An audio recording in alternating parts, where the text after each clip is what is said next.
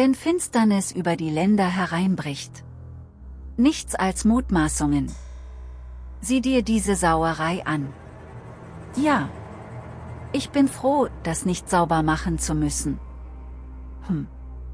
Andererseits haben wir hier auch ganz schöne Drecksarbeit zu erledigen. Jupp. Statt weiter das Bild zu kommentieren, das er vor sich sah, wandte Anwärter Illinger sich Kommissar Welton zu. Nicht sonderlich gesprächig heute, hm? Der Ältere atmete tief ein und entließ die eingezogene Luft dann schwer seufzend. Es war schon spät, ihm tat der Rücken weh, wie fast ständig dieser Tage, und langsam setzten auch noch Kopfschmerzen ein. Und jetzt auch noch sowas. Dieser Fall würde sich noch die ganze Nacht hinziehen. Hätte er doch nur ausnahmsweise einmal pünktlich Feierabend gemacht und sein Diensttelefon im Fluss versenkt. Nein, bin ich nicht, brummte er deswegen, wobei er unfreundlicher klang als beabsichtigt, was ihm auch sogleich leid tat. Der Anwärter konnte ja nichts dafür, dass er selbst langsam zu alt für den Scheiß wurde. Sorry, war ein langer Tag. Ist schon okay, Chef, winkte der andere ab, ehe er seine Arme wieder vor der Brust verschränkte, wodurch die beiden erneut in der gleichen Position verharrt, nebeneinander standen und die stillstehende Szenerie vor sich beobachteten. Obgleich dieser Zustand erst wenige Minuten anhielt, kam es ihnen bereits so vor, als wären Stunden vergangen und wenn die Dinge so schlecht standen, wie sie vermuteten, würde es tatsächlich noch dazu kommen. Trotz ihrer misslichen Lage entlocken diese Worte dem Mann ein leises Lächeln. Werden Sie jemals aufhören, mich so zu nennen? Was, Chef? Nein, ich denke nicht Chef. Die Ernsthaftigkeit, mit der er das sagte, ließ die frohe Miene auf Weltens Gesicht noch ein wenig breiter werden, allerdings gefror sie gleich wieder, als er sich durch ein Ziepen seiner Hüfte besann, an welchem Ort er sich gerade befand, warum er dies tat und wie viel Zeit er hier voraussichtlich noch verbringen würde. Apropos, seit wann hatte er eigentlich auch noch Schmerzen in der Hüfte? Wenn das so weiterging, würde es bald keine Stelle mehr in seinem Körper gehen, die ihm nicht ununterbrochen wehtat oder sonst wie Probleme bereitete. Es wurde wirklich Zeit, dass er über seine Pension nachdachte. Andererseits konnte er die Mannschaft schlecht im Stich lassen, vor allem da sie nach diesem Vorfall in der Seebürgerstraße 67 vor mittlerweile über einem Jahr, jeden Mann gut gebrauchen konnten. Insbesondere, wenn man die aktuelle Lage betrachtete, in der sich die gesamte Welt befand. Je länger er darüber nachdachte, desto mehr deprimierte es ihn, weswegen er entschied, dazu überzugehen, sich doch mit seinem Kollegen zu unterhalten. Und was meinen Sie Illinger, wird die Spurensicherung noch vor morgen früh hier eintreffen? Der junge Mann zuckte mit den Schultern. Wenn ich ehrlich sein soll, Chef, wage ich es fast zu bezweifeln.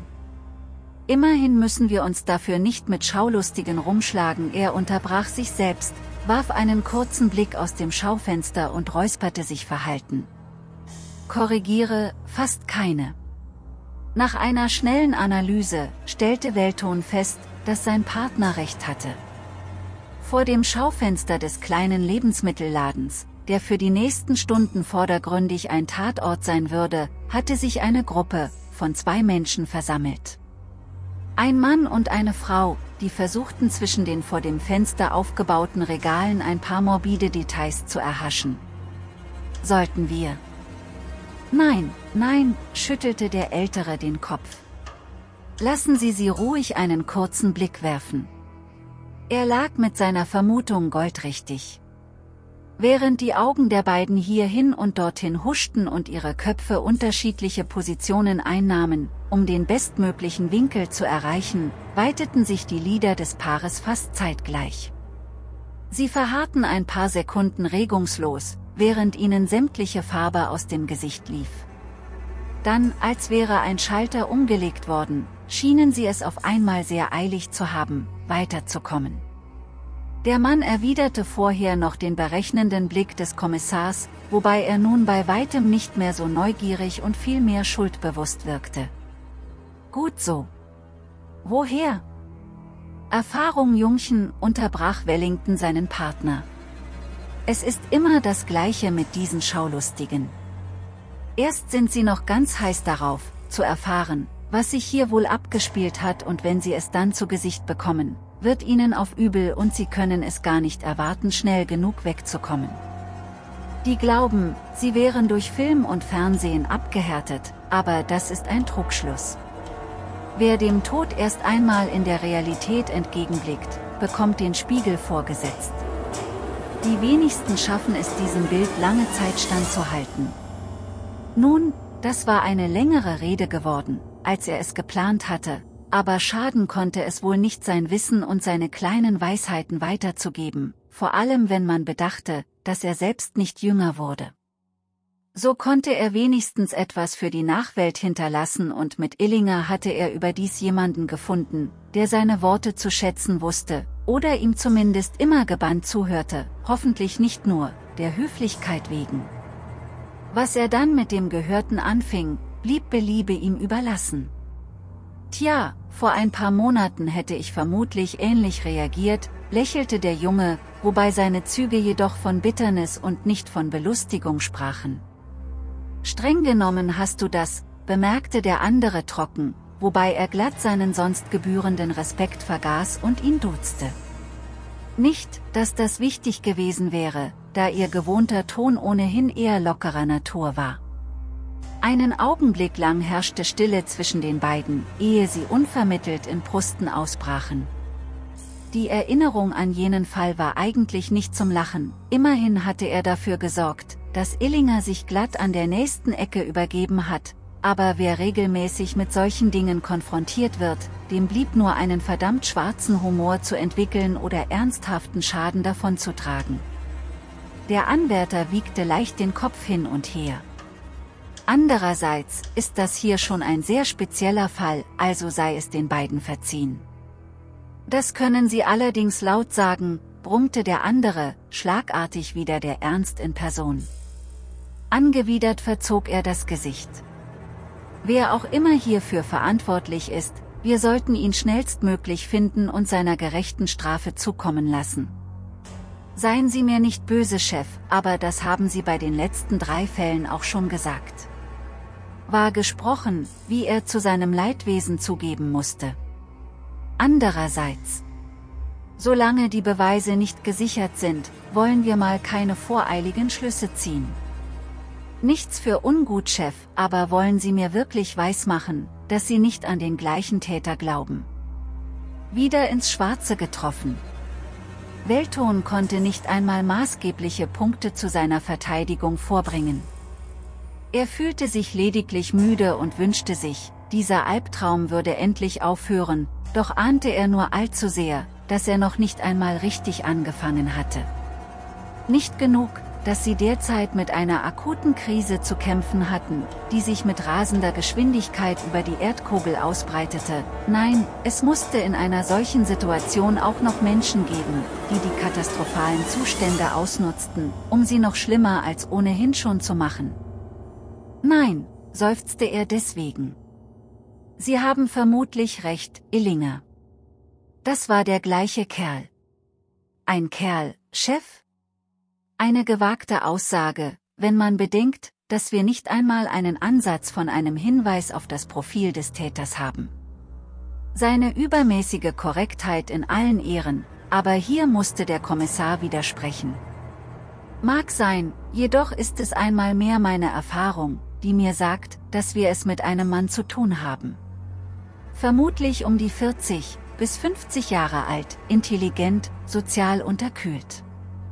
Ein Grübler, vermutlich selbsternannter Philosoph. Ein Kerl, der glaubt mit seinen Taten eine Botschaft zu vermitteln, die Welt zu verändern, oder zumindest einen kleinen Teil der Menschheit in eine von ihm gewünschte Richtung zu stoßen. Anders als erwartet, stieß er mit seiner Analyse nicht gerade auf Gegenliebe dafür auf umso mehr bissigen Sarkasmus. Und in seiner Kindheit hat er kleine Kätzchen in seiner Badewanne ertränkt. Für diese Bemerkung hatte Welton nur einen finsteren Blick übrig. Sein Partner dürfte sich ja viel herausnehmen, doch es gab Grenzen. Der kaltblütige, wenn auch fiktive Mord an kleinen, unschuldigen Kätzchen, stellte eine dieser Grenzen dar. Genauso wie die damit verbundene Untergrabung seiner Autorität und jahrelanger Berufserfahrung. Nicht zu vergessen, dass sein Instinkt in Frage gestellt wurde. Ein Instinkt, der ihn noch nie oder wenn, dann höchst selten im Stich gelassen hat. Vertrauen Sie meinem Urteil etwa nicht mehr, Illinger, fragte er deswegen mit skeptisch hochgezogener Augenbraue. Würde mir im Traum nicht einfallen, Chef, widersprach dieser sogleich vehement, was den Älteren ein wenig milder stimmte. Aber auch, wenn unser Bauchgefühl häufig schwerer wiegt, als das Handbuch, nach dem wir arbeiten, sollten wir es doch trotzdem niemals einfach vergessen, oder was meinen Sie, Chef? Nein, da haben Sie natürlich recht, stimmte er einmal mehr zu. Der Junge lernte schnell. Gut so, sie konnten Leute wie ihn gebrauchen. Schade nur, dass es zu wenige seines Kalibers gab, die die Alten langsam ersetzen konnten. Das hieß, wenn sie nicht gerade vorher. Nicht schon wieder daran denken. Er schüttelte entschieden den Kopf, warf einen Blick auf seine Uhr, schaute hinaus und stellte verdrossen fest, dass die Straße still dalag, während die Nacht langsam über das Land hereinbrach. Wo blieb nur die verfluchte Spurensicherung? Da sie ja eh Zeit totzuschlagen hatten, beschloss Welton den Fokus wieder ein wenig gerade zu rücken. Wissen Sie was, Illinger? Wenn wir hier schon ohnehin nur dumm rumstehen können, können wir auch genauso gut schon mal ein paar Theorien durchgehen. Er nickte in Richtung Tatort, wobei dieser streng genommen aus der halben Ladenfläche bestand. Was meinen Sie? Ein seltsames Lächeln huschte über das Gesicht des jungen Mannes. Es war ein Lächeln, das Freude an der Herausforderung andeutete, das besagte, dass der Kommissar hier jemanden vor sich hatte, der nach einer kleinen Eingewöhnungszeit anfing, voll in seinem Beruf aufzugehen. Allerdings zeigte sich dieses Lächeln auch streng analytisch. Solange er keine Gefühle zuließ, konnte er es aufrechterhalten, wenn er später nach Hause kam und sich selbst im Spiegel betrachtete, würde diese helle Miene versteinert sein, während sein zerrütteter Geist sich auf eine schlaflose Nacht vorbereitete, da er sich wieder und wieder gezwungen sah, das Erlebte zu durchleben und zu durchdenken. Tja, setzte der junge Mann mit nüchterner, professioneller Stimme an. So wie ich das sehe, hat es sich folgendermaßen abgespielt. Ein Virus reist um die Welt. Wenige Stunden zuvor herrschte in dem kleinen Lebensmittelladen noch nun, sicher kein reges Treiben, zumindest nicht so wie sonst, aber doch wenigstens so etwas wie Leben. Verkäufer standen an den Kassen, hinter Plexiglasscheiben vor den Einkaufenden geschützt und Kunden schlichen durch die Gänge, auf der Suche nach lebensnotwendigen Dingen, wie Essen, Hygieneartikeln und ähnlichem. Nicht, dass es davon noch viel gegeben hätte. Seit der Abregelung wurden die Bestände immer knapper. Strikte Reglementierungen waren eingeführt worden, wer von was wie viel erwerben dürfte, nicht, dass sich daran auch wirklich alle halten würden. Abregelung, welch ein hartes Wort. Man mochte meinen, die Menschen säßen eingepfercht in ihren Wohnungen, wartend, auf das Signal ihren Käfig wieder verlassen zu dürfen. Wann es soweit sein würde? Ungewiss. Ganz so extrem war es glücklicherweise noch nicht gekommen, auch wenn es genügend Stimmen gab, die genau diese Maßnahmen prognostizierten. Andererseits prophezeiten diese auch den Dritten Weltkrieg und vertraten die Meinung, dass der Virus beabsichtigt auf die Menschheit losgelassen worden war, also was wussten die schon? Herzlich wenig. Dann wiederum, das galt auch für alle anderen. Niemand wusste etwas mit hundertprozentiger Sicherheit. Es wurde spekuliert und sich auf Zahlen berufen, doch was heute noch galt, konnte morgen schon Schnee von gestern sein. Die vergangenen Wochen hatten es häufig genug gezeigt. Vor ein paar Monaten hatte man schließlich auch noch geglaubt, die scharfen Sicherheitsmaßnahmen würden schon bald wieder vorbei sein. Mittlerweile war fast ein Jahr vergangen und die Zeichen standen schlecht. Wie hatte es nur so außer Kontrolle geraten können? Eine einfache Infektion. Ein Mensch. Ein einziger von einem Virus verurteilter. Wenige Wochen später hatte sich niemand mehr an den Namen dieses Mannes erinnern können, aber alle kannten das Virus. Über die gesamte Weltkugel war es gereist, hatte sich in jeder Stadt eingenistet, es sich heimelig gemacht und terrorisierte seitdem das Menschengeschlecht, welches zusehends auf einen bodenlosen Abgrund zumarschierte. Schuld daran, trugen sie zu einem nicht unwesentlichen Teil selbst. Jetzt, Monate später, galten in jedem Land Regelungen, an die ein jeder Einzelne sich zu halten hatte. Zur Sicherheit des Einzelnen, denn jedes Leben zählte. Moralisch wahre Worte, deren Sinn sich vielen nach einigen Wochen der Isolation jedoch nicht mehr erschloss. Selbst der nobelste Weltverbesserer und Menschenfreund ergab sich irgendwann seinen blanken Nerven und war allzu gern bereit, auf den Rest der Welt einen feuchten Kehricht zu geben, wenn er denn dafür nur sein eigenes, gewohntes Leben zurückbekam. Jeder Teil der Welt verfolgte seine eigenen Reglementierungen, doch in einer Hinsicht gab es eine gewisse Konformität, das öffentliche Leben musste strikt eingeschränkt werden.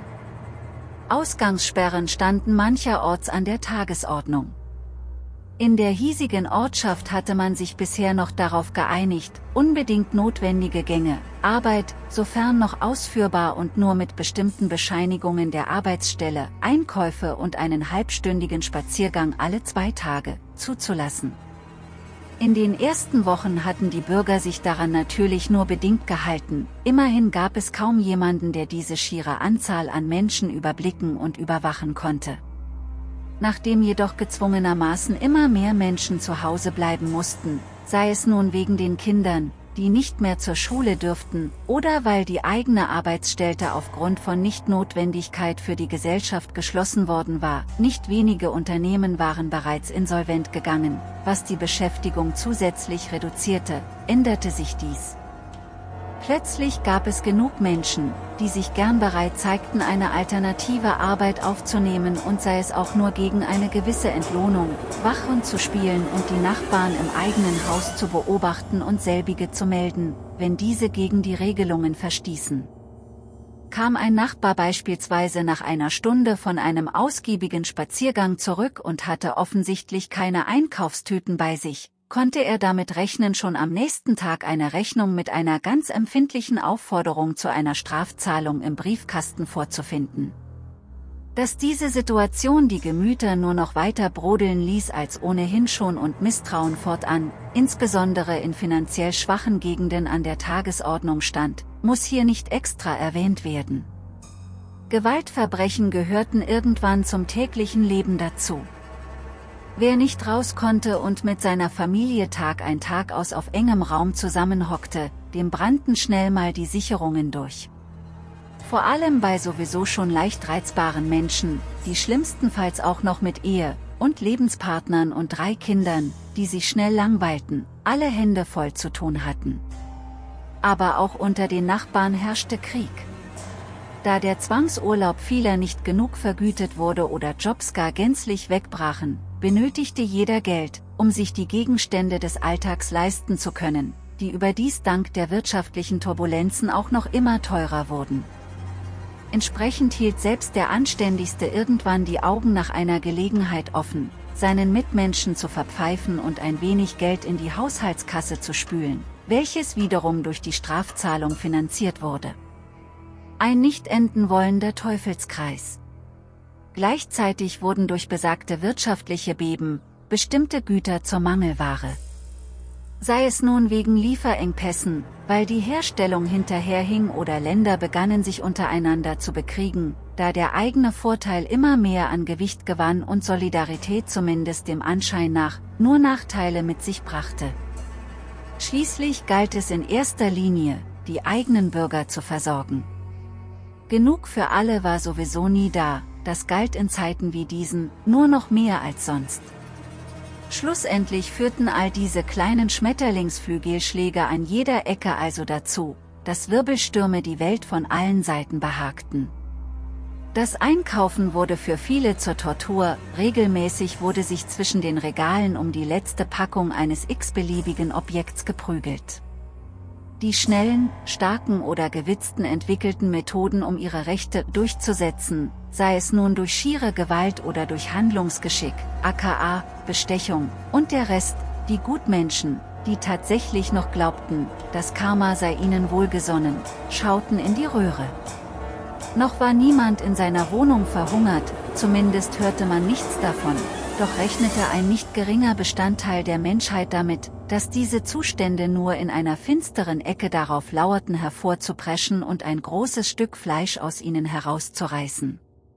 Den Virus selbst, der all dies verursacht hatte, fürchtete hingegen mittlerweile kaum mehr jemand, geschweige denn, dass über ihn viele Worte verloren wurden, obgleich er weiterhin mit ungezügelter Kraft wütete.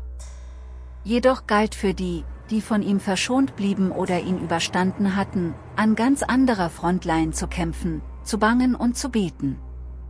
Nun, alles Beten hatte den Menschen in eben jenem Laden, in dem Kommissar Welton und Anwärter Illinger sich derzeit befanden, nichts genutzt. Ihnen war eine gänzlich andere Macht erschienen, eine noch dunklere, uralte, nach Verwesung und Tod stinkende. Denn in Zeiten wie diesen, wenn Finsternis über die Länder hereinbricht, kommen lichtscheue Kreaturen aus ihren Löchern gekrochen und nutzen die Gunst der Stunde, um sich an dem Leid anderer zu laben. Um Zerstörung und Chaos über die Welt zu bringen. Es war ein verhältnismäßig ruhiger Tag für den Laden gewesen, zumindest bis zu einer gewissen Stunde. Zu besagter Stunde am Nachmittag wurde nämlich die Ware angeliefert, was mittlerweile jeder gute Bürger, der in diesem Stadtteil wohnte, nur allzu gut wusste. Vor diesem Stichpunkt, zu einer Zeit also, in der die Regale sich weitgehend leer und verwaist zeigten, hatten die Verkäufer gelangweilt hinter ihren Kassen gesessen und nur wenige Besucher begrüßt. Obwohl, konnte hier wirklich von Langeweile gesprochen werden? Nein, ganz sicher nicht. Vielmehr starrten sie alle paar Sekunden gebannt auf die Uhr, während ihr Puls sich langsam, aber stetig zu beschleunigen begann. Sie fürchteten sich vor dem Moment, an dem die Ware ankam, denn dann würden die Leute ihren Laden stürmen und die Sachen von den Paletten reißen, bevor überhaupt die Chance bestand, sie in die Regale einzuräumen. Aus diesem Grund hatte man einen Großteil der Regale auch abgebaut, so dass besagte Paletten nur noch aufgebaut werden mussten. Die Frage warum sie sich diese Zustände überhaupt zumuteten, stellte sich unter den Verkäufern trotzdem niemand, denn die Antwort war denkbar simpel, Geld. Sie hatten im Gegensatz zu vielen anderen immerhin noch eine Arbeit, der sie nachgehen konnten und zudem auch noch einige Vergünstigungen, in Form von Gütern, die sie sich schon vor Platzierung im Laden sichern dürften, was freilich nur ein Mittel darstellte, sie an sich und die Geschäftsstelle zu binden, denn Geld allein rechtfertigte diesen Knochen Job schon lange nicht mehr.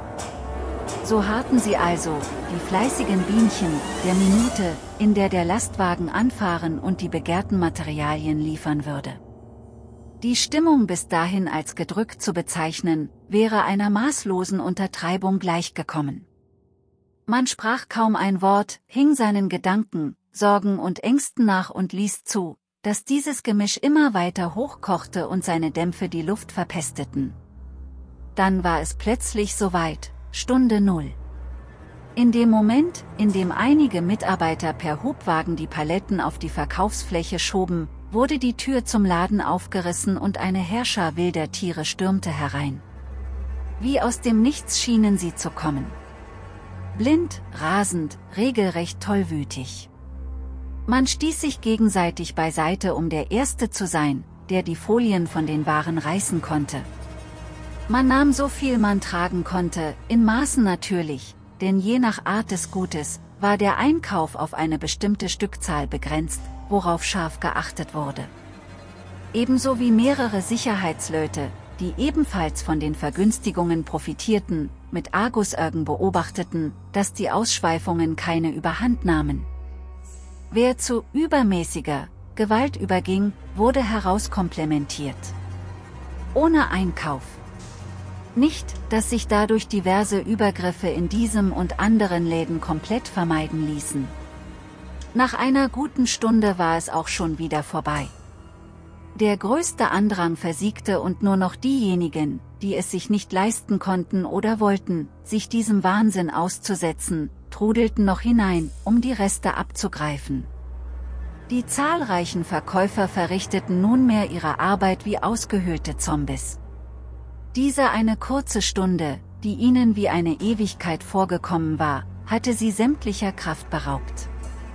Diskussionen darüber, dass man mehrere Haushalte versorge, einen Einkauf für seine Nachbarn mache oder Schuldzuweisungen, dass sämtliche Mitarbeiter an dem unmöglichen Zustand in ihrem Laden mitverantwortlich wären, waren regelmäßig laut geworden, während sich gleichzeitig weiter hinten Kunden gegenseitig anbrüllten oder generell über alles und jeden beschwerten. Ein wahres Pulverfass also, in dem ein einziger Funke gereicht hätte, um es endgültig zur verheerenden Explosion zu bringen. Gut nur, dass dieser Funke ausgeblieben war. Ja, es war stressig gewesen, ja, es hatte einige blaue Flecken gegeben, reichlich Frust und Wut sowieso, aber im Vergleich zu manch anderen Tagen, war dies fast schon ein guter gewesen. Verwunderlich, wie schnell sich doch die Grenzen der Definition gut verschoben. Und dann war, ehe sie sich versahen, der Feierabend näher gerückt. Zum Ende des Tages war es verhältnismäßig ruhig geblieben, ja, man hatte sich sogar schon fast ein wenig entspannen können. Einzig der Gedanke an die Ungewissheit, wann all dies sich wieder in Normalität wandeln würde, unterband ein erleichtertes Aufatmen. Vor allem, da auch Normalität keiner festen, unverrückbaren Grenze unterlag. Wer hamstert dabei Nacht und Nebel? Soweit so gut, nickte Weltton. Ein gewöhnlicher Tag, wie wir ihn derzeit in fast jedem noch geöffneten Laden erleben. Was mich jedoch zur ersten Frage führt, wieso gehen Sie davon aus, dass sich das hier, dabei deutete er auf den Tatort als Ganzes, erst zum Feierabend hin abgespielt hat, eine reine Testfrage. Der Kommissar zweifelte selbst keine Sekunde daran, dass es genauso gewesen sein musste, doch wollte er seinen Partner langsam daran heranführen sich warm zu laufen, statt die generelle Situation zu beschreiben, wie sie sie regelmäßig auf den Straßen der Stadt erlebten. Netter Versuch Chef, aber wir wissen beide, dass die Indizien für sich sprechen. Die Opferzahl beschränkt sich allein auf Mitarbeiter und den Filialleiter. Keine Kunden oder Sicherheitsleute. Weiterhin wurde die Zentrale um kurz nach sieben verständigt, also eine knappe Stunde vor Ladenschluss. Zugegeben, das hier hätte sich auch deutlich früher abspielen können, doch auch wenn die Kundschaft nach dem großen Andrang deutlich nachlässt, versiegt sie doch nie gänzlich, wie die letzten Wochen mehrfach gezeigt haben. Und was das Sicherheitspersonal anbelangt, die machen bekanntermaßen derzeit um sechs Feierabend, beziehungsweise begeben sich auf andere Posten, an denen sie dringender gebraucht werden, weil nachts ganz andere Orte derzeit zu Risikobereichen werden. Entsprechend hätten wir schon viel eher davon erfahren müssen, wenn es denn früher passiert wäre und können mit an Sicherheit grenzender Wahrscheinlichkeit davon ausgehen, dass die Tatzeit zwischen 6 und 7 liegt. Er machte eine kurze Pause und fügte dann leiser hinzu. Außer wir gehen von allem Schlechten im Menschen aus und erwarten, dass mehrere Dutzend treue Bürger nach Sichtung des Vorfalls nicht den Notruf gewählt oder eingegriffen haben.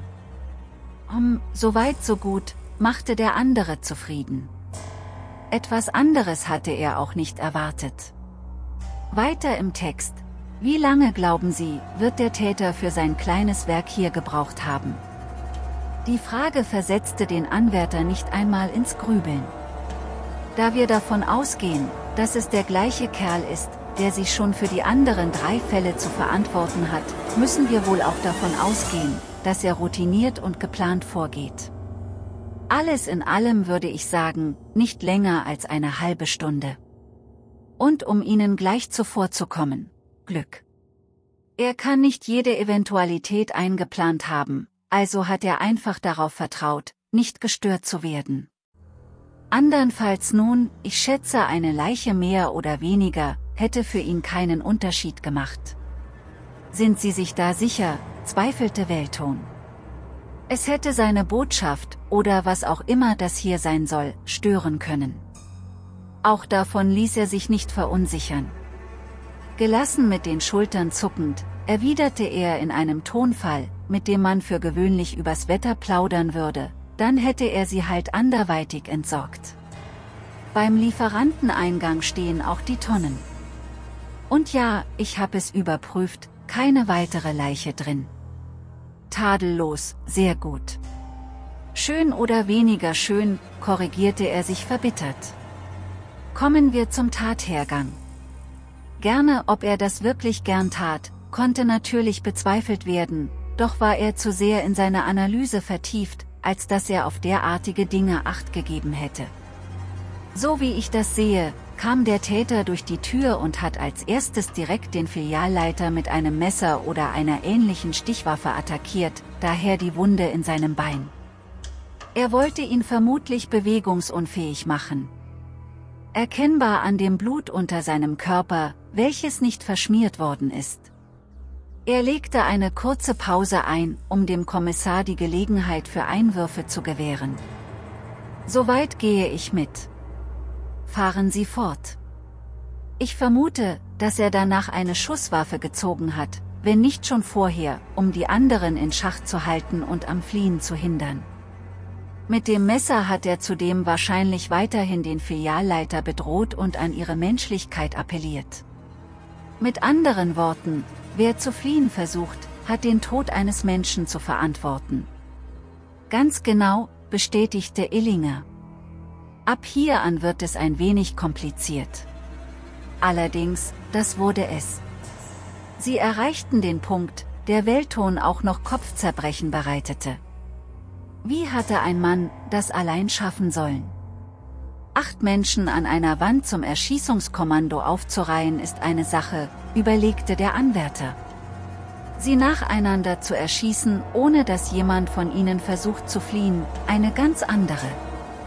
Tatsächlich saßen alle acht leblosen Körper an der Wand gelehnt und in sich zusammengesackt da. Keine Spuren von Fesseln oder anderen Mitteln, mit denen sie festgehalten worden wären. Nach dem ersten Schuss wäre es sehr wahrscheinlich gewesen, dass selbst der größte Schock durch reinen Überlebensinstinkt überlagert wurde und zumindest ein Teil von ihnen wie aufgeschreckte Hühner losgerannt wäre. Im Idealfall hätten sogar ein oder zwei der Opfer genug Mut gefunden, sich auf den Täter zu stürzen. Sicher, es hätten nicht alle überlebt, aber wenigstens wären sie nicht wie die Lämmer vor die Schlachtbank geführt worden. Genau das war jedoch passiert. Keine Anzeichen irgendwelcher Abwehrreaktionen. Keine Fluchtversuche. Keine Kämpfe. Nur acht Leichen, die sich bereitwillig ihrem Schicksal hingegeben haben. Über die Reihenfolge kann ich ebenfalls nur mutmaßen, führte Illinger weiter aus. Allerdings gehe ich stark davon aus, dass zuerst die Mitarbeiter hatten dran glauben müssen. In der Zeit hätte der ihr Chef aber versuchen können, abzuhauen, oder meinen Sie nicht? Zwei Möglichkeiten, der junge Anwärter hatte auch auf alles eine Antwort parat.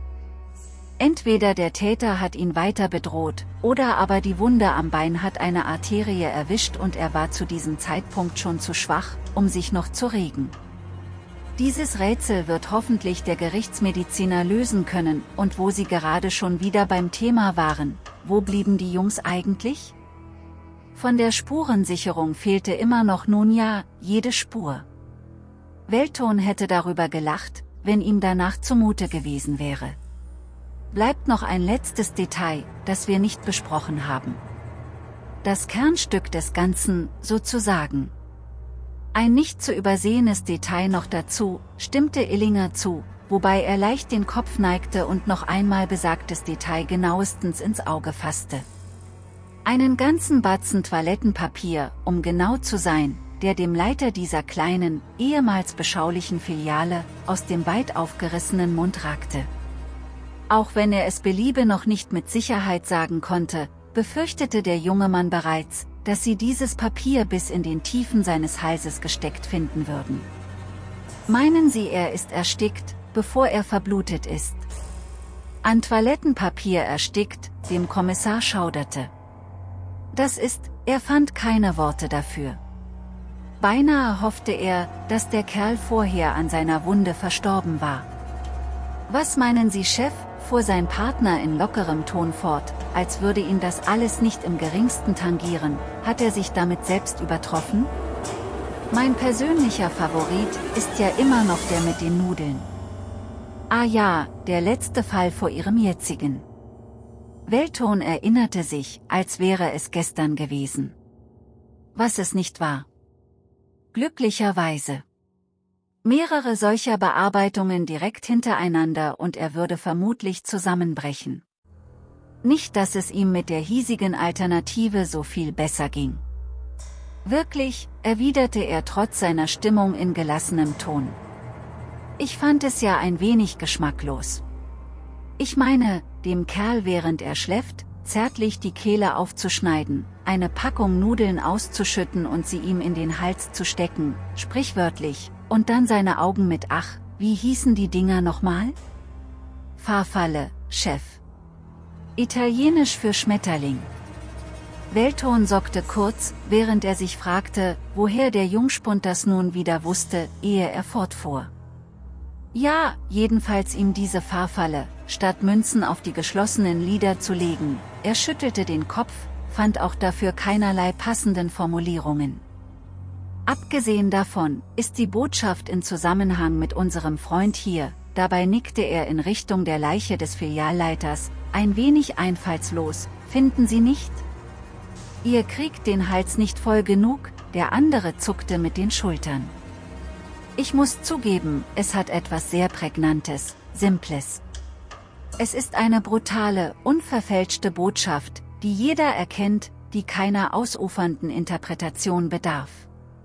Ich meine, in beiden Fällen hatten wir es mit Hamsterern zu tun. Der Kerl mit den Nudeln hatte einen ganzen Vorratsschrank und der Filialleiter hat seine Stellung ausgenutzt, um Toilettenpapier zu bunkern, wie man an seinem Arbeitsplatz, an dem sich die Packungen, die er heute mitnehmen wollte stapeln, gut erkennen kann. Skeptisch hob der Kommissar eine Augenbraue. Wenn man sie so reden hört, Illinger, könnte man glatt meinen, Sie bewundern den Kerl. Bewundern, fragte der junge Mann seinerseits verwundert. Nein, kein bisschen.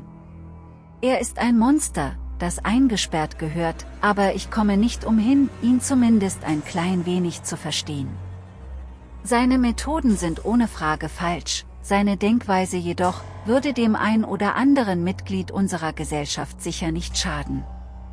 Da hatte er nicht ganz Unrecht. Wenn alle Welt aufhören würde verrückt zu spielen und nur an das eigene Überleben zu denken, das so außerordentlich nicht einmal gefährdet war, zumindest von der Grundsituation her, würde es auch allen besser gehen. So viel Verstand konnte den Menschen jedoch in dieser Zeit nicht mehr eingeprügelt werden. Weder durch vernünftige Worte noch durch aggressives Vorgehen.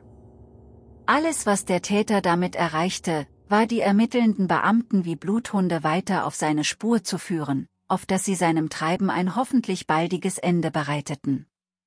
Um das Thema fortzuführen und die einsetzende Stille zu durchbrechen, die Weltton ein wenig nervös machte, erklärte er, mein Favorit ist immer noch der Mehlbunkerer, kaum ausgesprochen bereute er es sogleich. Es fühlte sich absolut falsch an, in diesem Kontext von Favorisierung zu sprechen, die eine gewisse Bewunderung vermuten ließ.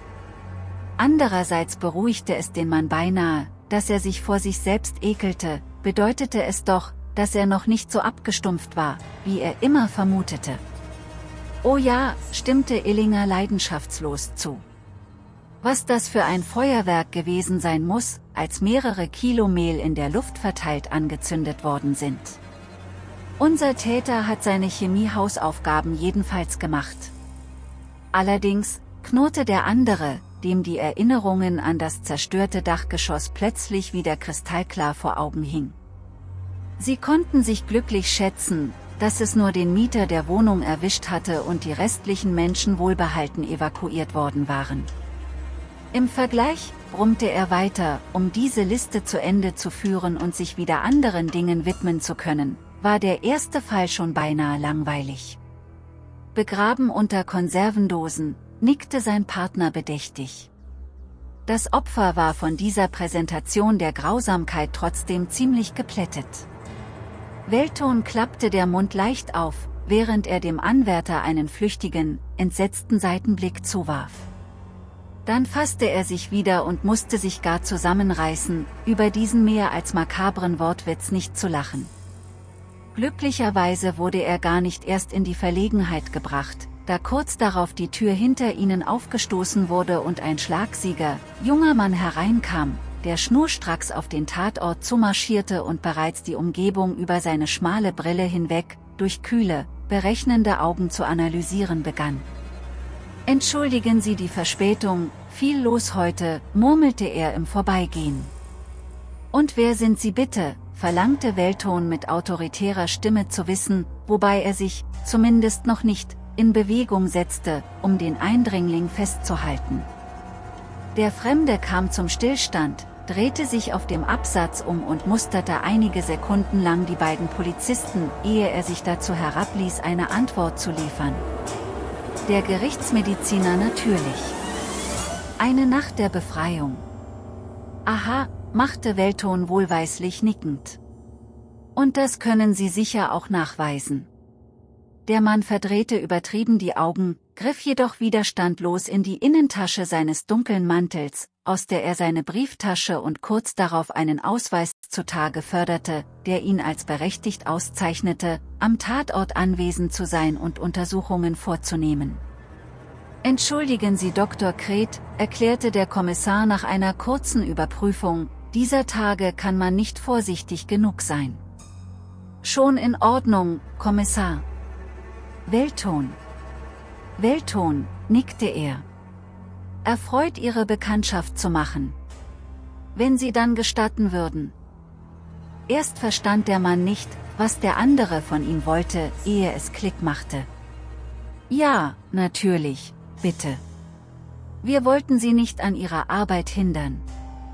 Kret verschwendete keine weitere Zeit, drehte sich wieder um und begab sich zuallererst zu der Leiche des Filialleiters, um eine erste, grobe Untersuchung vorzunehmen. Eifrig, wie Welton meinte. Eigentlich nach seinem Geschmack, doch irgendetwas störte ihn an dem Kerl. Es ging schon mit dem Namen los. Kret kam ihm seltsam vertraut vor, nur woran lag das? Und dann dieses aalglatte Verhalten und die Selbstverständlichkeit, mit der er reinspaziert gekommen war. Bevor er dazu kam weiter darüber nachzudenken, unterbrach Illinger seine geistigen Prozesse. Chef, ich mag mit den üblichen Abläufen noch nicht so vertraut sein, aber ist es nicht eher ungewöhnlich, dass der Gerichtsmediziner persönlich zum Tatort kommt? Fast schon beiläufig antwortete der Kommissar, wobei seine Augen unentwegt auf ihren neuesten Zuwachs ruhten. Kommt auf den Fall und seine Kapazitäten an. Etwas anderes ist es, was mich langsam viel mehr unruhig werden lässt. Und das wäre? Statt zu antworten, machte er ein paar Schritte in den Raum hinein und stellte eine Frage an Kret. Hey, Sie wissen nicht zufälligerweise, wo die Spurensicherung bleibt. Die Jungs sollten schon vor einer Stunde hier sein, eine glatte Lüge, immerhin hatte er ja nicht einmal eine Ahnung, wie viel Zeit seit ihrem eigenen Eintreffen vergangen war, da er den Überblick verloren hatte. Kann ich Ihnen nicht sagen, erwiderte der Mann, ohne aufzublicken. Seine Aufmerksamkeit galt voll und ganz der Leiche vor sich. Allerdings habe ich vorhin gehört, dass heute, wie auch an jedem anderen Tag seit Wochen, einiges los ist. Also müssen Sie sich wohl einfach noch ein wenig gedulden, Kommissar Welton. Müssen tat er überhaupt nichts, Dafür musste er sich schwer zusammenreißen, ihm diese Erwiderung nicht an den Kopf zu knallen.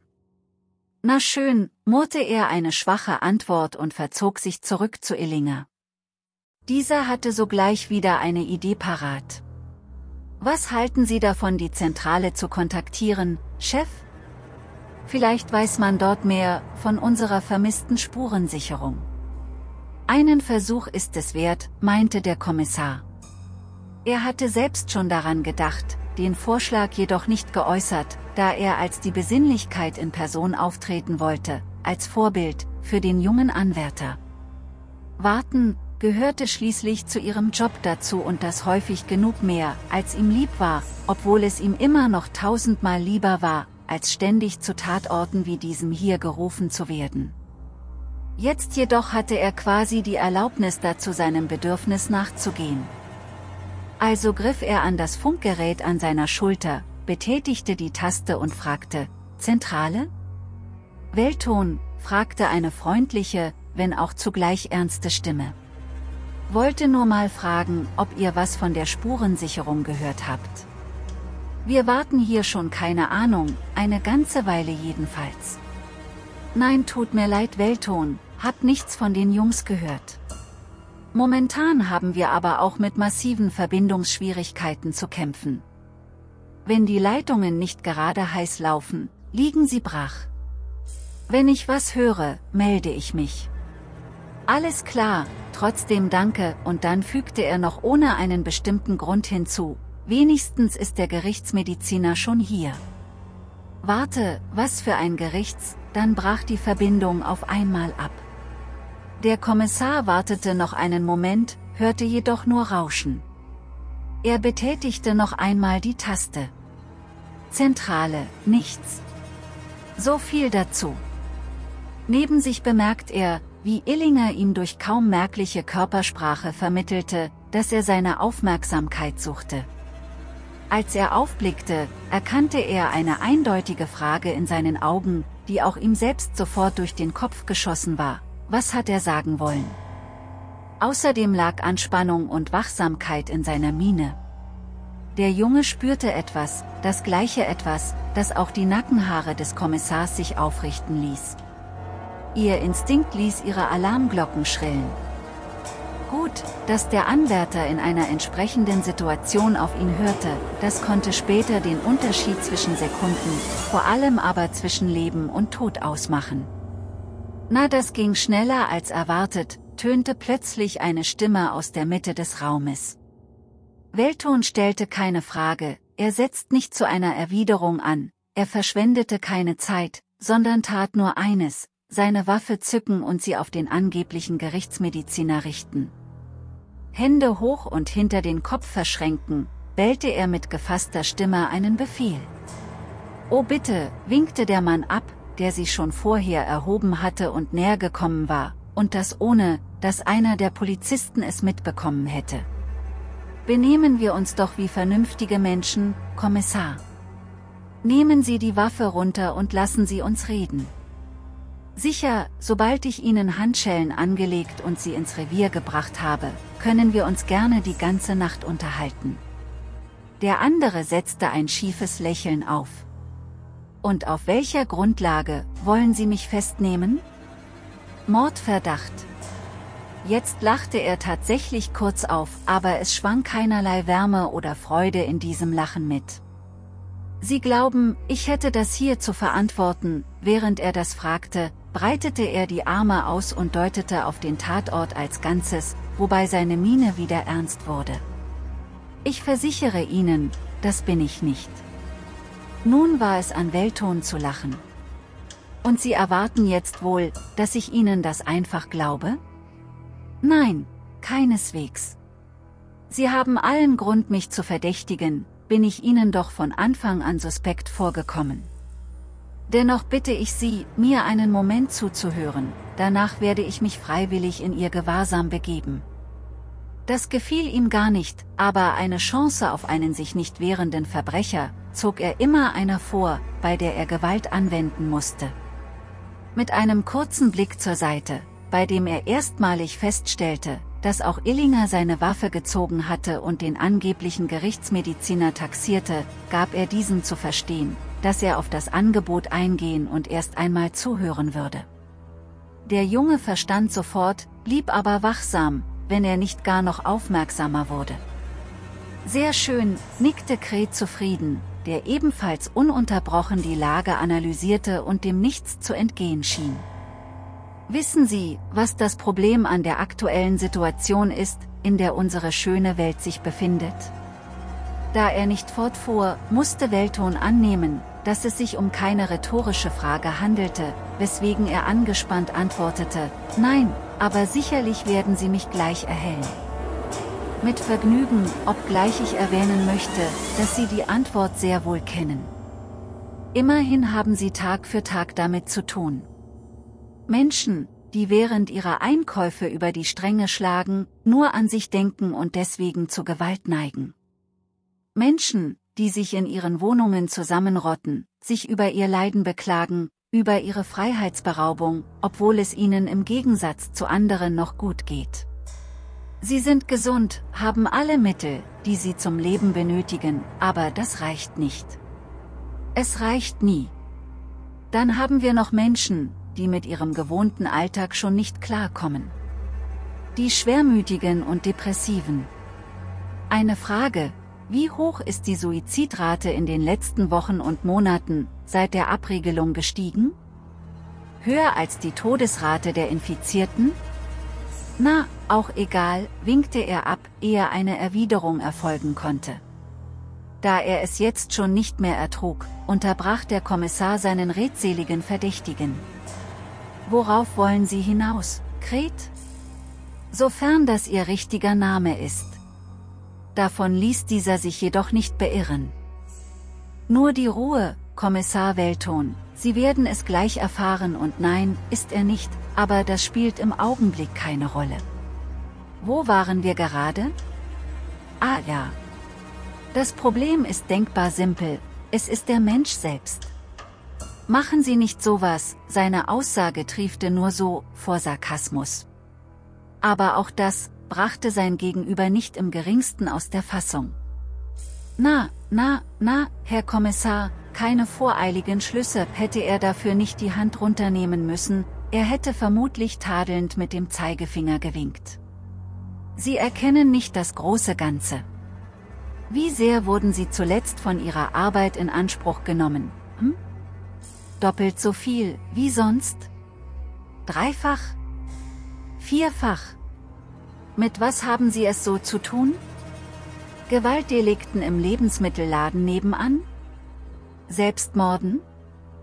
Vandalismus von größeren Gruppen, mit erhöhtem Promillewert, die ihrem Frust Luft machen, er drehte sich leicht zur Seite und nickte in Richtung der Leichen. Ein paar symbolische Morde, er legte eine kurze Kunstpause ein, ließ seine Worte wirken, sich langsam entfalten. Es ging Welton tierisch gegen den Strich und er verlor langsam die Geduld. Die Sache ist die, das sind Kleinigkeiten, Peanuts, wenn Sie so wollen, verglichen zu dem, wozu die Menschen fähig wären, wenn man ihnen nur den richtigen Anstoß gibt. Oh, das wird ja immer besser, raunte der Kommissar. Die Welt hat im letzten Jahr nicht angefangen zu brennen, da wird sie nicht urplötzlich mit der spontanen Selbstentzündung anfangen.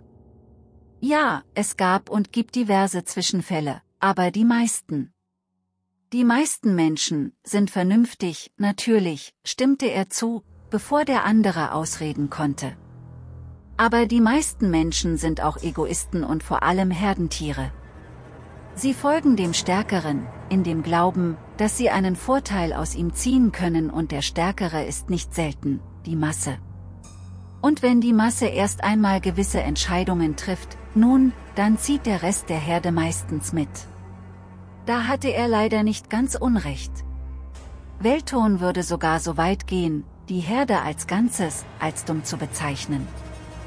Das Individuum für sich konnte noch so intelligent sein, geriet die Allgemeinheit in Panik oder stürmte geradewegs von wie auch immer geartete, voreiligen Schlüssen los, widersetzten sich nur die wenigsten, da sie mitgerissen wurden und Gefahr liefen, unter den Massen zertrampelt zu werden, wenn sie doch dagegen ankämpften. Und dennoch, ihre aktuelle Situation mochte nicht rosig sein und Kret in vielen Punkt richtig liegen, aber das bedeutete noch lange nicht, dass die Apokalypse schon an ihre Tür klopfte. Sie würden einfach noch ein bisschen länger durchhalten müssen.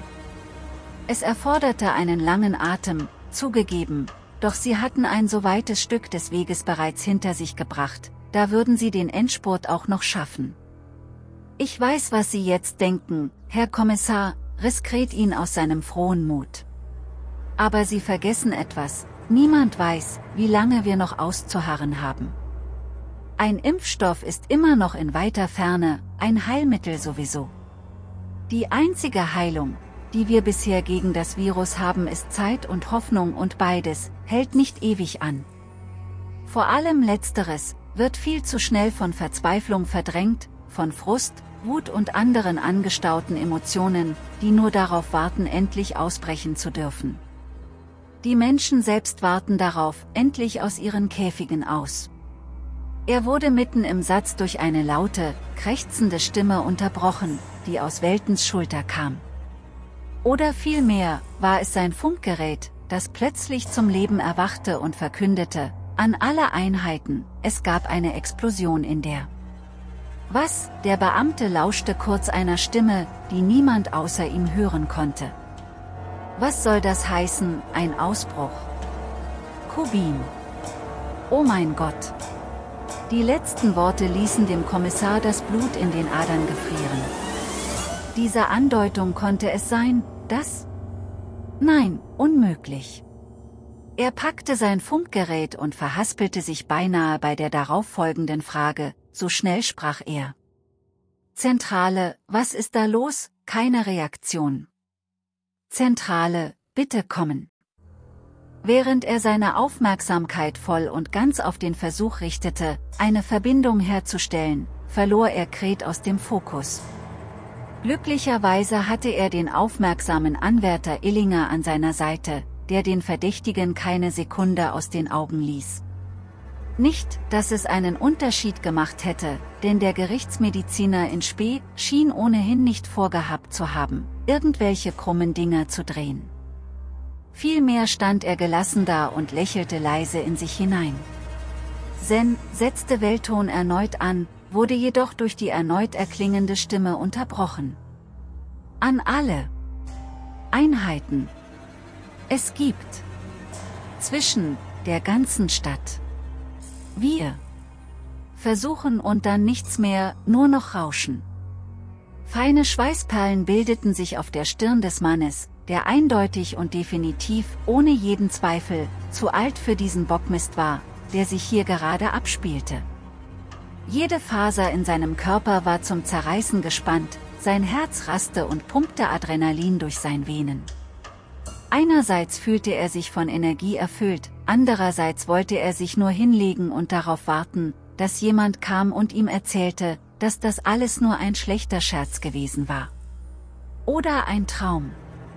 Ja, ein Traum wäre gut gewesen. Doch dazu kam es nicht. Er blieb stehen, versteinert und fassungslos, unfähig eine Entscheidung zu treffen.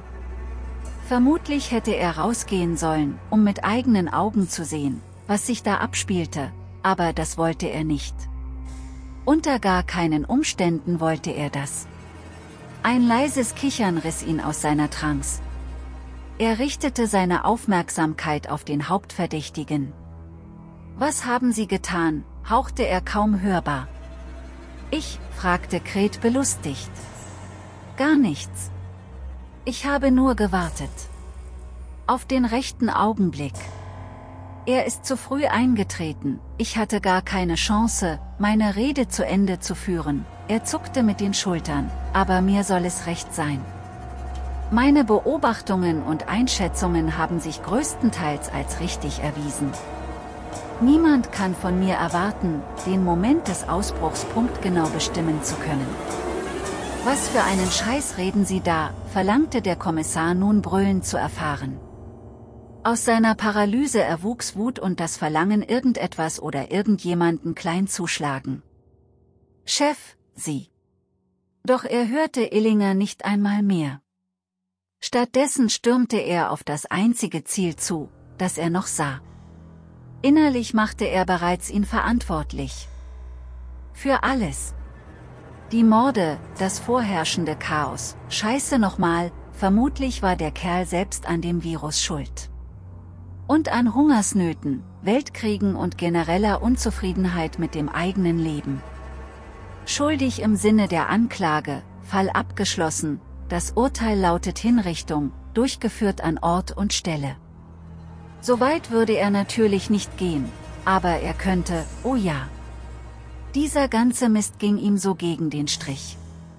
Vor über einem Jahr hat es angefangen, als Kubinski und sein ganzes Team bei diesem verfluchten Fall in der Seebürger Straße hatten dran glauben müssen. Mehr oder weniger, immerhin lebte der Kommissar Kubinski ja noch und Anwärter Griedfeld galt immer noch als vermisst. Nicht, dass es das so viel besser machte. Ganz im Gegenteil, seitdem ging alles nur noch bergab. Welton spürte das Alter an sich zehren. Damit hätte er ja noch leben können, wenn nicht kurz darauf, dieser Vermaledeite-Virus seine Fühler ausgestreckt und die Welt zum Verrücktspielen veranlasst hätte. Er bekam meine ruhige Nacht mehr, hatte mit immer extremeren Fällen zu kämpfen. Häusliche Gewalt, Prügeleien, Suizide, Totschläge. Mord. Er hatte genug, wollte nur, dass es endlich aufhörte. Wollte, nur. Frieden. Sich von diesen Lasten befreien. Er sah ein, dass Kret recht hatte. Schon wieder. Und er hasste sich dafür. Aber egal, damit konnte er sich später beschäftigen. Sobald er den Kerl krankenhausreif geprügelt hatte. Gerade als er ihn erreichte, alle Muskeln gespannt, um seinem Gegenüber das breiter werdende, eiskalte Lächeln aus der Fresse zu polieren, geschahen mehrere Dinge gleichzeitig. Erst hörte er noch einmal Illinger rufen. Chef, dann, wie die Ladentür aufgestoßen wurde und gleich darauf einen ohrenbetäubenden Lärm, der alles andere überdeckte. Eine Welle aus Hitze flammte über seinen Rücken und eine Welle aus Druck schleuderte, nein, katapultierte ihn gegen Kret, mit dem er zusammen mehrere Meter flog und unsanft aufprallte. Irgendwie hatte der Kerl es geschafft sich im Flug leicht zu drehen, so dass es Welton war, der den Aufprall am härtesten zu spüren bekam. Es trieb ihm die Luft aus den Lungen und bei dem Versuch, selbige wieder zurückzupumpen, hatte er arge Schwierigkeiten. Zum einen, weil sein gesamter Körper aufgrund der Schmerzen, die ihn von überall her gleichzeitig anbrüllten, sich mit aller Kraft dagegen wehrte, zum anderen, weil es scheinbar nicht mehr genug davon in seiner Umgebung gab. Da war nur unerträgliche Hitze, die allen Sauerstoff vertrieb. Was war geschehen? Wollte er das überhaupt wissen? Nein. Wenn es nach ihm gegangen wäre, hätte er die Lider geschlossen gehalten und sich dem ewigen Schlaf hingegeben, doch so leicht machte sein Körper es ihm nicht. Darauf trainier immer einsatzbereit zu sein und bis zum letzten zu kämpfen, arbeiteten seine Lungen weiter, während sein Geist wach blieb. So wach zumindest, wie er ihn noch aufrecht halten konnte. Nachdem er sich halbwegs an die immer noch von allen Seiten pochenden Schmerzen gewohnt hatte und feststellte, dass das Atmen zwar schwer ging, aber nicht unmöglich war, öffnete er die Augen und betrachtete die Zerstörung. Der Laden zeigte sich als Trümmerfeld. Der Eingangsbereich existierte quasi nicht mehr. Da war nur Schutt, Metallteile, die in alle Richtungen zeigten, Glassplitter und Feuer. Zur Mitte des Geschäfts hin, wurde die Zerstörung geringer, dafür entdeckte Welton ein anderes, schreckliches Detail in diesem Bild des Chaos. Illingers reglosen Körper, ungefähr dort, wo zuvor noch Kret gestanden hatte. Ill, krächzte der Kommissar. Kaum ein Ton kam über seine Lippen. Plötzlich bemerkte er eine Bewegung neben sich. Ruckartig riss er den Kopf zur Seite, was er sogleich bereute, da sich alles um ihn herum zu drehen begann. Schwindel hin oder her, dennoch erkannte er sofort, worum es sich bei dem sich bewegenden Objekt handelte. Panisch tastete er mit seinen Händen zu beiden Seiten nach seiner Waffe, doch er fand sie nicht. Bis seine Augen sich, fast wie von selbst, auf den Gegenstand in Krets rechter Hand fokussierten. Nein, dachte er, jedoch nicht verzweifelt oder in Angst, sondern lediglich mit einem seltsam zufriedenstellenden Gefühl, der Endgültigkeit. Das war's alter Junge, deine Tage sind gezählt. Zeit Abschied zu nehmen. War schön mit euch. Man sieht sich in einem anderen Leben. Aber so einfach sollte er es nicht haben. Statt auf ihn zuzugehen, lief Kret nämlich von ihm weg und auf den immer noch regungslosen Anwärter zu. Welton wollte etwas sagen, wollte ihn hindern, wollte irgendetwas tun, doch alles was er zustande brachte, war ein kaum wahrnehmbares Stöhnen, das seiner Kehle entstieg. Somit konnte er nur daliegen und zusehen, wie der angebliche Gerichtsmediziner sich neben Illinger kniete, seinen Puls fühlte, den Kopf schüttelte, sich wieder aufrichtete, die Hand hob und drei Schüsse in den Kopf des wehrlosen jungen Mannes abfeuerte. Schnell hintereinander. Präzise. Erbarmungslos. Dem Kommissar drehte sich der Magen um. Du verdammte Bastard, dafür reiße ich dir dein schwarzes Herz aus dem Leib, hätte er gerne geschrien, doch raus kam nur weiter dieses unnütze Gestöhne. Sein neu auserkorener Erzfeind kam auf ihn zu, um sich neben ihm niederzuknien, wie er es zuvor bei seinem Partner getan hatte. Sehen Sie es ein, Herr Kommissar, der Junge wäre sowieso gestorben. Er stand der Explosionsquelle am nächsten. Es ist ein Wunder, dass er überhaupt noch gelebt hat. Und wo wir gerade dabei sind, Sie, dabei deutete er kurz mit der Waffe auf ihn, was ihn jedoch keine Sekunde auch nur zucken ließ, machen auch nicht mehr lange, wenn wir uns nicht um sie kümmern. Gut, dass ich mir tatkräftige Unterstützung besorgt habe. Er wartet sicher schon draußen, also wollen wir uns ein wenig beeilen, ja? Statt zu versuchen eine Erwiderung zu äußern, was sowieso schief gegangen wäre, taxierte Welton sein Gegenüber nur mit finsterem Blick. Oh, jetzt sehen Sie mich nicht so an, Kommissar. Ich habe Sie doch gewarnt und Sie hatten mehr als genug Gelegenheit und Zeit, sich aus der Affäre zu ziehen, er zuckte mit den Schultern. Was kann ich dafür, dass Sie mir nicht glauben wollten, jetzt drehte er halb den Oberkörper und schwang dabei weitflächig den Arm. Die Welt da draußen, befreit sich endlich, wie ich es vorhergesehen habe. Ein paar Menschen, ein paar Gruppen, die die Steine ins Rollen brachten, haben eine ganze Stadt dazu animiert, ihre Ketten zu sprengen und auf die Konsequenzen ihres Handelns zu pfeifen. Sie werden wüten, sie werden toben, sie werden zerstören und was ihnen vermutlich am wenigsten gefällt, sie werden den Bestien dieser Welt Deckung gewähren, so dass sie sich im Schutze der Nacht und des Chaos mal so richtig austoben können. Sie glauben mir nicht? Dann nehmen Sie sich einen Moment und lauschen Sie. Alles in dem Mann sträubte sich dagegen, dieser Aufforderung nachzugehen, doch was blieb ihm denn anders übrig? Er fühlte sich nicht dazu in der Lage auch nur einen Arm zu heben, wie sollte er sich da die Ohren zuhalten? Also lauschte er und was er hörte, ließ ihn innerlich beben. Selbst über das Knistern des Feuers konnte er sie hören, Menschen. Dutzende von ihnen, die auf den Straßen unterwegs waren. Sie sangen in Chören irgendwelche Parolen, so krumm, schief und durcheinander, dass sich kein klares Wort daraus vernehmen ließ. Durchbrochen wurde dieser schiefe Singsang durch das Scheppern von zerspringenden Glasscheiben, durch Autoalarme, durch wildes Gekreisch und Gebrüll, durch alle nur erdenklichen Formen, in denen Gefühlen Raum geschaffen werden konnte. Irgendwann hatte Weltton genug. Er ertrug es nicht mehr mit anhören zu müssen, wie seine Stadt, die zu schützen er sich vor Jahren einmal geschworen hatte, vor die Hunde ging. Es war ja nicht so, dass er sie nicht verstand.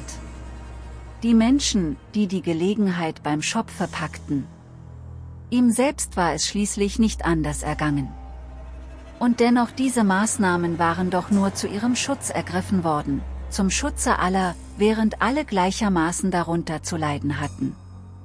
Aber stimmte das wirklich? Stammte ein Hauptteil des Frustes nicht daher, dass es selbst in dieser Situation, in der ein Virus das Leben aller bedrohte, ein Teil der Menschheit immer noch besser dran war, als der Rest? Ein nicht unerheblicher noch dazu? Geld regierte selbst in diesen Zeiten immer noch die Welt und wer es besaß, stand auf der grüneren Seite des Zauns. Natürlich spielten noch ganz andere Faktoren eine Rolle, jede Menge, individuelle sogar, doch wog dieser wie in so vielen anderen Bereichen auch, mitunter am schwersten. Wie ich sehe, erkennen Sie es jetzt, frohlockte Kret. Und um auf Ihre stumme Frage zu antworten, gar nichts. Ich sagte es bereits, aber ich wiederhole mich gern, ich habe nichts mit all dem zu tun. Schuld daran trägt er allein der Herdentrieb. Ich gestehe höchstens ein, ihn ein wenig für meine Zwecke ausgenutzt zu haben. Wissen Sie Weltton, ich beobachte sie nun schon so lange etwas über ein Jahr, mittlerweile und endlich ist sie gekommen, meine Stunde er legte ein breites, fast schon diabolisches Grinsen auf. Soll ich Ihnen ein kleines Geheimnis verraten, Herr Kommissar, er kam ganz nah, um dem Mann ins Ohr flüstern zu können. Ich bin eines der vielen Monster, die aus ihren finsteren Löchern gekrochen kommen, wenn Dunkelheit sich über die Ländereien ausbreitet und Sie, mein Freund, kennen meinen wahren Namen nur allzu gut. Gretfeld, hauchte der Kommissar, wobei seine Augen sich weit öffneten. Er wusste nicht woher diese Erkenntnis auf einmal kam, doch einmal ausgesprochen, zweifelte er keine Sekunde daran, dass er mit seiner Aussage goldrichtig lag. Er verstand nur nicht, wie das sein konnte. Dieser Kerl oder was auch immer er war. Er sah nicht aus wie der junge Anwärter, der vor einem Jahr verschwunden war. Oder zumindest nicht so, wie Welton ihn in Erinnerung hatte. Andererseits, je länger er ihn betrachtete, desto mehr schien sein Gesicht vor ihm zu verschwimmen, sich zu verändern, als passe es sich automatisch seiner Vorstellung an. Das Lächeln auf den Lippen seines Gegenübers blieb, doch wirkte es auf einmal fast schon warm und ehrlich. Er hob eine Hand und tätschelte liebevoll die Wange des anderen. Haben Sie mich also endlich erkannt, Großvater Welton? Dann kommen Sie, draußen wartet ein alter Bekannter. Mitkommen konnte er natürlich schlecht von sich aus, weswegen Griedfeld ein wenig nachhelfen musste, indem er hinter ihn trat und ihn rauschleifte.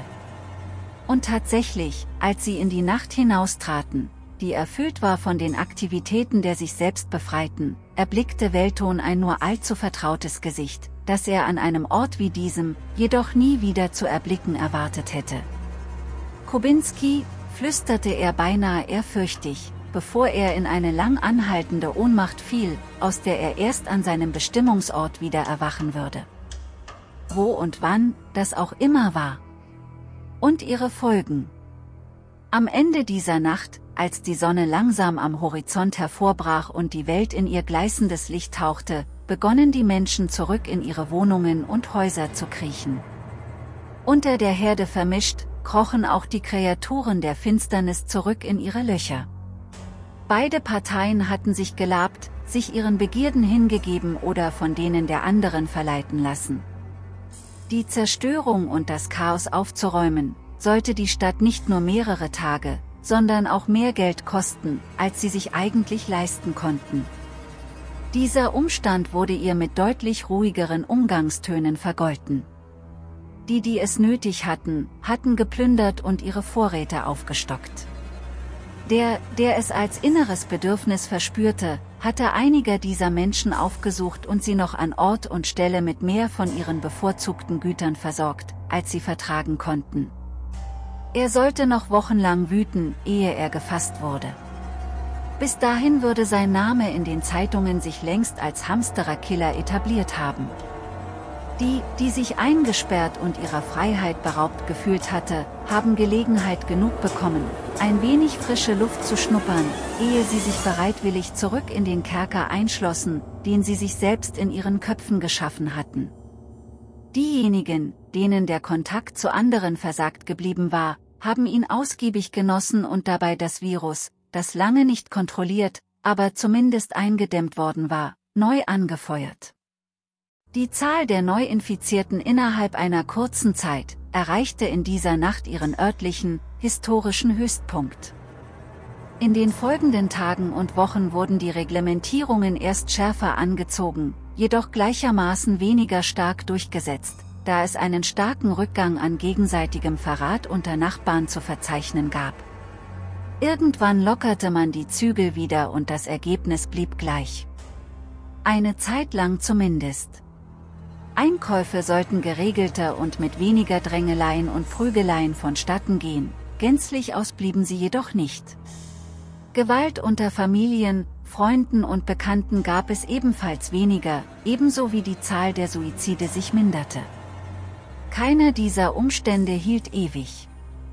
Je weiter die Nacht der Befreiung in die Vergangenheit rückte und desto mehr die Menschen erneut in ihrer Gedanken- und Gefühlswelt versanken, umso mehr schossen auch die Zahlen wieder in die Höhe, wodurch Polizei und Notärzte nach einer verhältnismäßig kurzen Atempause schon bald wieder alle Hände voll zu tun hatten.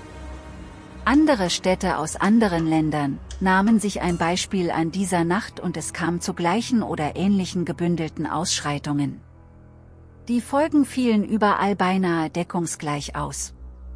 Überlegungen wurden angestellt, die Einschränkungen, die allerorts eingeführt worden waren zu lockern, um weitere Klimaxe dieser Art zu vermeiden. Die Ideen dazu jedoch weitgehend verworfen, da die Angst vor dem Virus weiterhin die Oberhand behielt. Anwärter Illingers Leiche wurde Stunden nach seiner Ermordung geborgen. Er bekam ein anständiges Begräbnis, seine Familie trauerte lange um ihn. Von Kommissar Welton fehlt seit jener Nacht jede Spur. Ebenso bleibt der Aufenthalt des ehemaligen Kommissar Kubinski, der nach einer verheerenden Explosion aus der Nervenheilanstalt, in der er betreut worden war, fliehen konnte, ungewiss. Beide Fälle sollten Monate später zu Enakten gelegt werden. Die Suche nach einem gewissen Griedfeld wurde nie wieder aufgenommen, da es dazu keine Veranlassung gab. Einen Gerichtsmediziner namens Kret hat es nie gegeben. Mm-hmm.